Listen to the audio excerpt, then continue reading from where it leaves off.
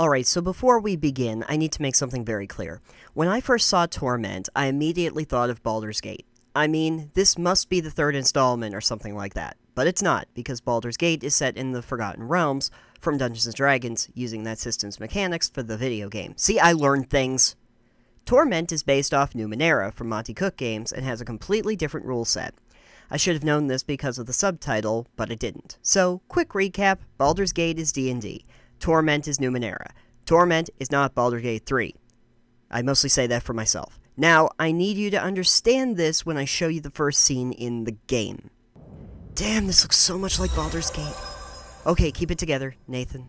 Since you can choose between male and female characters, I went with what it says on my new passport and chose female. Thanks, State Department. Anyway, moving on. The first thing you'll probably notice after the graphic and interface similarities to that other game is that your character building is very different. Numenera uses three stat pools, Might, Speed, and Intellect. Now, I said stat pools because unlike stats in some other games, the primary use of these is to apply effort to situations you encounter in and out of conflict, or crises in this case. So I have an intellect of 7 at the start here, but I can spend those points to increase my odds and damage on an intellect challenge. Think of your stats as a kind of currency, or maybe mana, because they regenerate when you rest or use items, whatever works. Anyway, also handy is that you are apparently some kind of demigod with amazing powers, except when I can't choose any options and have to restart my game. Okay, let's just whip through this again. Alright, back, and, uh, yeah, take that, Sorrow. Work that time. Alright, good. Moving on. You have some NPCs following you that have some cool skills, like this one lady that exists in multiple dimensions. I think I gave her a little hamster, so I guess that's transdimensional now, I guess.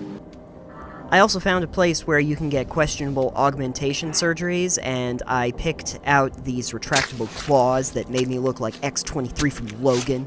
Oh, such a good movie. Anyway, there's lots you can do if you can figure out where you're going. Can anyone tell me where to find the sorrow? The sorrow? It's a tentacle thing that, like, lives in my memories, I guess. And I, I only learn about it when I die. Oh yeah, one of the things you do a lot is die. I dare say you've managed to find a way to die in almost every reality. But it's cool because you can just go back to the plane where the game started, which is apparently in your mind until you decide to return to the corporeal world. So that's a cool trick. The biggest problem with Torment Tides of Numenera is that it reminded me of the big problems I had with classic RPGs like, yeah, you know. While there's a lot of stories and side quests, figuring out what you need to do or where you need to go is half the game. Even looking through my notes didn't really help. Maybe classic RPGs weren't as good as I remember them. Maybe I've been spoiled by modern RPGs with waypoints and fast travel and a snappy GUI that pops up every time I do something. But asking every single character where I can find the one person that's supposed to be around here somewhere, you keep telling me that she is, is just not engaging. It feels like the game is tormenting me. Oh! That's why it's called that. Clever.